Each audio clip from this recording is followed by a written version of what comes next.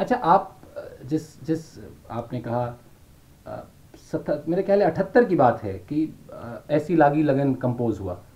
और आप हाँ सेवेंटी एट जितनी जानकारी मुझे है कि उसको कंपोज करने में आपको बहुत समय नहीं लगा क्योंकि किसी ने लाकर आपको आप वो लाइन दी और आपने कई बार उस लाइन को पढ़ा। हाँ बस और अपने आप ही खाना खाते खाते हुआ था। कैसे? अमेरिका में न्यू जर्सी में मैं एक अपने दोस्त के यहाँ बैठा खाना खा रहा था। उनकी वाइफ थोड़ा गाना भी गाती थी। तो जब मैं खा रहा था खाना तो मेरी आदत है मैं हाथ से खाता हूँ। दाल रोटी सब्ज़ी सब चावल आलू सब। तो मैं खा रहा था तो उनकी वाइफ ने कहा कि अनूप जी ये किताब में बड़े अच्छे से भजन लिखे हुए मैंने कहा अच्छा दीजिए। मैंने ऐसे ले लिया खाता रहा पढ़ता रहा। एक पेज पे मैं रुक गया। उसमें लिखा हुआ था ऐसी लागी लगन मीरा हो गई मगन। इंदिरा देवी का लिखा हुआ। जी। पूना में रहती थी। हरे कृष्ण की फॉलोअर तो बस वो मैं अटक गया। खाना मैंने जल्दी से ख़त्म किया और वो 20-25 बार पढ़ लिया मैंने। फिर उनको किताब दे दी। जब खाना ख़त्म हुआ तो मैंने उनसे कहा, जरा हारमोनियम दीजिए। और मैंने गाना सुना दिया। वो बन चुका था।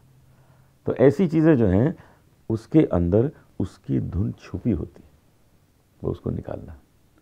क्योंकि कवि जब कोई अपनी कविता लिखता है तो गुनगुना के लिखता है। उसकी जो धुन है उसको पकड़ना है। उसके वाइब्रेशन तक अगर हम पहुँच गए तो गाना अमर हो जाएगा। जैसे मैया मोरी मैनी माखन खायो। वो सूरदास जी ने यही धुन में सोच के लिखा होगा। ठुमकी चंद्र, रामचंद्र, तुलसीदास जी ने यही सोच के लिखा होगा। ऐसी लागी लगन इंदिरा देवी ने जब लिखा होगा तो ये सोच के लिखा होगा कि यही धुन होनी चाहिए, ऐसे गुनगुना के। तो उसको अगर पकड़ लिया, पायो जी मैंने वो लिखते समय मीराबाई ने सोचा होगा, ऐसे धुन होनी चाहिए। बस, वहाँ तक पहुँचना है। तो वो कैसे पहुँच पाएँगे?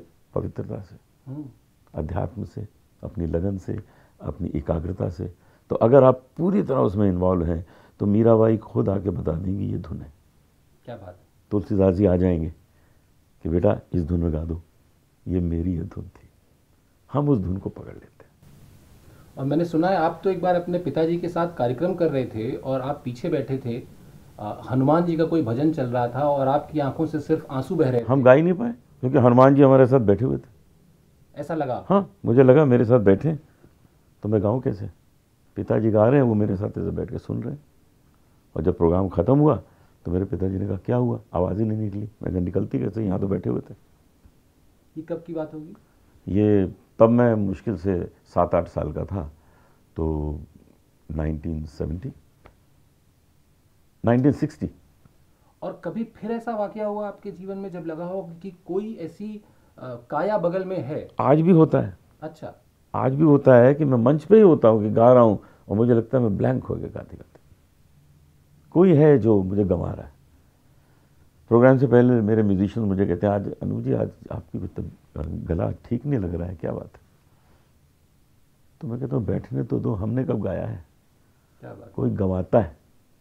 इसीलिए आपने देखा होगा हमेशा कि मैं गाना शुरू करने से पहले ऊपर देखता हूँ। हम्म हम्म। आ रहे हो क्या?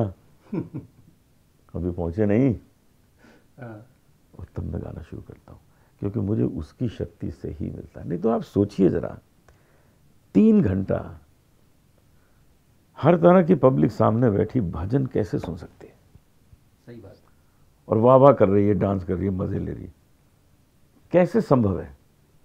ये तभी संभव है जब वहाँ ईश्वर की मौजूदगी है। तो इस पे एक शरारती सवाल ये भी बनता है कि क्या कभी ऐसा भी हुआ कि ईश्वर ना आए हो और गड़बड़ हो गई हो कोई?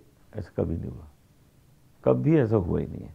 क्योंकि प्रभु जो हैं वो मेरे माध्यम से अपना संगीत लोगों के सामने प्रस्तुत करा रहे हैं। तो हो। गई अच्छा बात थोड़ी आगे निकल गई लेकिन ऐसी लागी लगन तो मतलब अगर रिक्वेस्ट ना करूँ तो? ऐसी लागी लगन ये मैं करीब चार हज़ार बार गा चुका हूँ। मुझे पता है। और इसका किस्सा भी मैं भी आपसे पूछूँगा। मीरा हो गई मगन वो तो गली गली गली गली हरी गुन गाने लगी महलों में पली बन के जोगन चली। मीरा रानी दीवानी कहाने लगी ऐसी लागी लगन। क्या बात। मुझे आपने बताया था कि अगर ये ना गाए तो आयोजक पैसे नहीं देते। नहीं देते हैं सच में। तो पहले गा देता हूँ। पहला गाना मेरा यही होता है कि भैया पेमेंट तैयार कर लो। हाँ। तो ऐसा भी होता होगा कि जैसे मान लीजिए कि कार्यक्रम शुरू हुआ और आपने ये गा दिया। 20-25 लोग थोड़ी देरी से आए मान लीजिए तो वो ज़रूर कहते होंगे कि खत्म करने से पहले एक बार ये गाइए दोबारा और दोबारा गाना पड़ता गा देते कभी कभी होता है कि कितने लोग लेट आए वो सब देख के उस हिसाब से उनको सुना देते क्योंकि हम वहाँ मंच पे आए हैं संतुष्ट करने उन्हें। हम इसलिए थोड़ी आए कि नहीं भाई अपने गाएँगे एक बार गा लिया गा लिया। अरे कोई वहाँ पहलवानी दिखाने थोड़े आए हो। अरे लोग सुनने आए हैं। दस बार सुना देंगे वो गाना अगर उनको आनंद आएगा। क्योंकि हमको भी तो आ रहा है आनंद। ये थोड़ी कि हमको उसमें कोई तकलीफ़ हो रही है। हम बीस बार गाएँगे हमको बीस बार आनंद मिलेगा। और अगर उनको मिलता है तो शायद हमारा उद्देश्य है वहाँ गाने का।